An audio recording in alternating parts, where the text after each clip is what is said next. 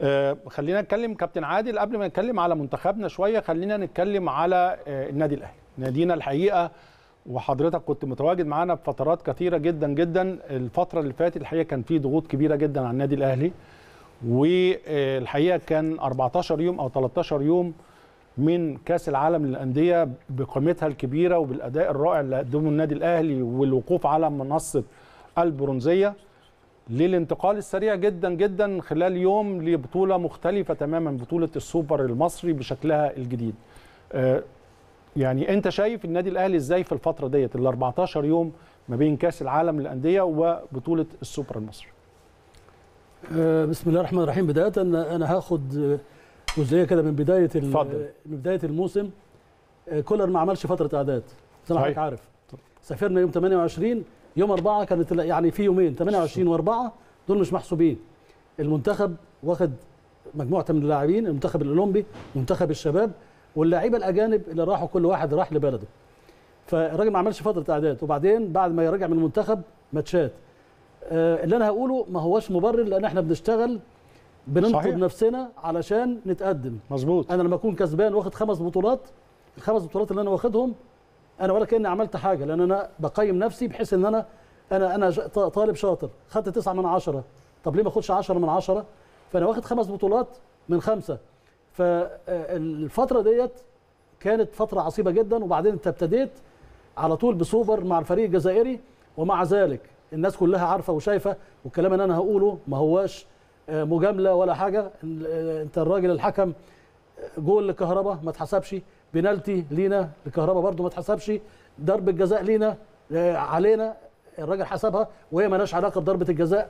الماتش اللي دخلنا على الدوري الأفريقي اللي معمول في توقيت غريب جدا. صحيح. حضرتك طبعا عارف الكلام ده.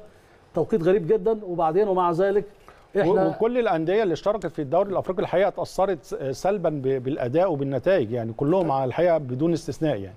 وده ال وده اللي كل واحد بيتكلم يقول لك إحنا النادي الأهلي فيه بطولتين ما خدهمش ما خدهمش لأن أنت عامل عامل توقيت خطأ.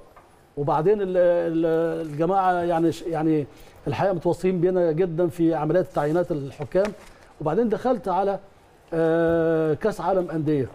طيب الفترة بقى من كأس العالم للأندية لغاية كأس السوبر.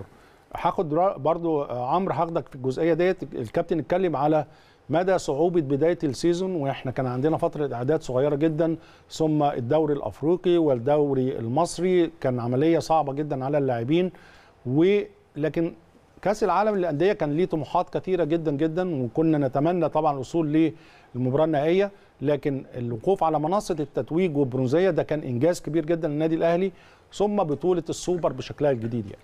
بص يا كابتن هاني طبيعي إن كأس العالم للأندية النادي الأهلي بيشارك فيه ويحصل على البرونزية. ده الطموح. هنقول دي آخر نسخة قديمة من الشكل القديم بعد الدخول في ال 32 فرقة على 8 مجاميع كل مجموعة أربع فرق. هيبقى الموضوع أصعب. كم كم كبير هيبقى من المنتخبات أو الفرق اللي بتمثل بلادها. النادي الأهلي وصل بالمباراة إن اتعمل بروباجندا كبيرة قوي في ماتش اتحاد جدة. بشكل معين وبأسلوب اللعيبة عملت ملحمة. عملت سيناريو ما يتكررش. اللي كان بيتوقع الواحد صفر بقوم ثلاثة والبقية تأتي. تألق الشناوي تألق كهربا تألق حسين الشحات. إمام مجموعة حاجات فيها نجاح لتتويج النادي الأهلي في منصة التتويج بعد جارديولا سيتي وبعد فلومينينسي فرناندو دينيز وكولر.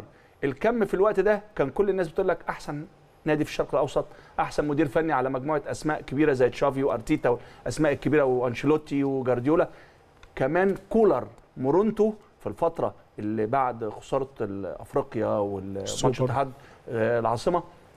وصل إن الراجل بقى عنده فكر جديد رجع كولر اللي إحنا شفناه أول لما جه مصر قعد فترة بسيطة عمل معسكر اليوم الطويل ودخل على مباراة السوبر بمكسب مباراة الزمالك اللي إحنا شفناها كان برونو سافيو كان لسه هو أول الإعلان مورونتو ورجوعه لأدائه واحتوائه للفرقة ظهر بالأداء اللي إحنا شفناه رغم قرب المسافات ما بين كل مباراة ثلاث أيام صحيح. يومين وبعدها أسافر أروح ألعب مباراة السوبر في دولة تانية ويتوفر لي طيارة خاصة إذا كانت في السعودية أو في الإمارات وأحقق المطلوب النادي الأهلي يا كابتن يمكن قلت مع حضرتك هنا إذا كانت سنة في كولر أولى 65 السنة دي 85 مباراة في موسم كامل.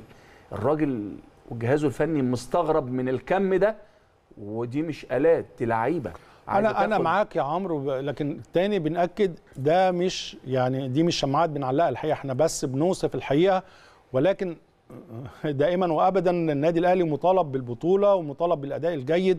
والحقيقة الجهاز الفني واللاعبين بيحاولوا بقدر الإمكان رغم الضغوط المباريات والضغوط الكبيرة جدا الحقيقة بيحاولوا وبيقاتلوا في الملعب وده يمكن كابتن عادل اللي ظهر كمان في بطولة السوبر. يعني عمرو اتكلم على كأس العالم للأندية إنك بتوصل كفريق أعتقد هيبقى من الصعوبة إن أي حد ياخد عدد البرونزات الميدالية البرونزية طبعاً. بهذا العدد لأن خلاص الأمور هتبقى صعبة جدا. فكان مهم جدا إنك تخرج من البطولة دي وأنت على منصة التتويج ولو ببرونزية املنا كلها كان المباراه النهائيه لكن النقلة بقى لأجواء مختلفة شوية لكورة مختلفة شوية.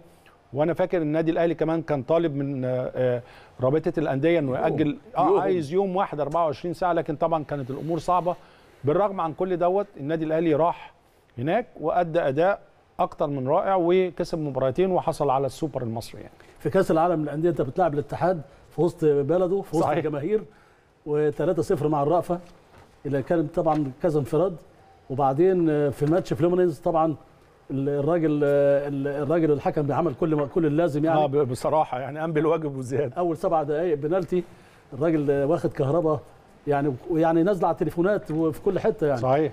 وبعدين برضو هو الفتى المدلل للاتحاد الأفريقي لل- للفيفا وبرضو حصل ضربه جزاء بتاعه آه، ال back. left آه، مارسيلو. مارسيلو. آه، طبعا كلها كانت فانت في الماتش ده مضيعين أكتر من سبع ثمان فرص استحاله حاجة حاجة منهم تضيع. كلها حاجات انفراد تماما. صحيح. 6 ياردة سواء كهرباء أو بيرسي تاو أو مظبوط.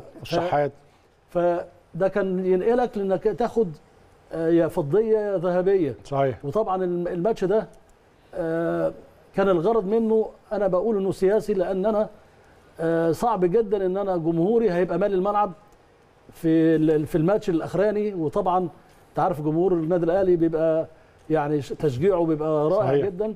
ف اللي أنا بقوله الجمهور حاسس بيه لأن أنا مش بجامل ولا عمري هجامل إنك أنت فعلا انت اتظلمت في الماتش ده. ده حقيقي. ال- الماتش الياباني طبعا إحنا شفنا الأداء ال- الرائع وال- والأهداف وشفنا النتيجة الكبيرة اللي النادي حصل عليها.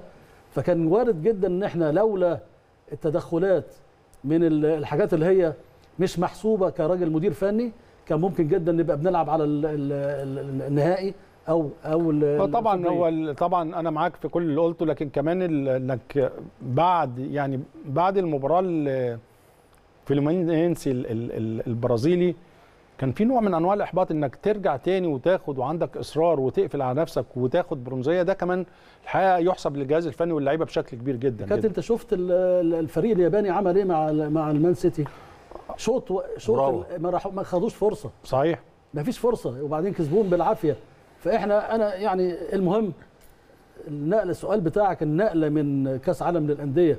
وبعدين بقيت 72 ما فيش 48 ساعة رايح تلاعب سيراميكا اللي هو واخد معسكر 10 أيام وبعدين لا في إصابات ولا في مجهود ولا ولا ولا وبعدين انت بتأدي معاهم مباراة في غاية العنف. صحيح.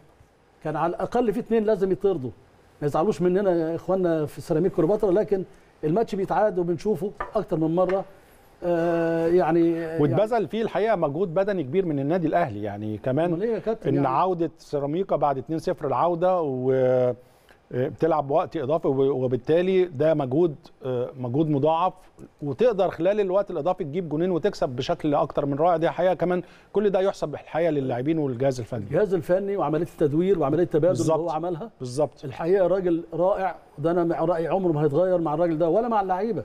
اللعيبه انت الحقيقة ثابت على رأيك حتى لما يكون في انتقادات لكولر انت مدافع عنه وعندك إيمان بإمكانيات ال ال ال الراجل. أنا في راجل خب... راجل بيقدم لك اوراق اعتماده بيجيب لك بطولات وكلها بطولات صعبة جدا صحيح. من خلال التدوير اللي هو بيعمله أكتر من فايلر.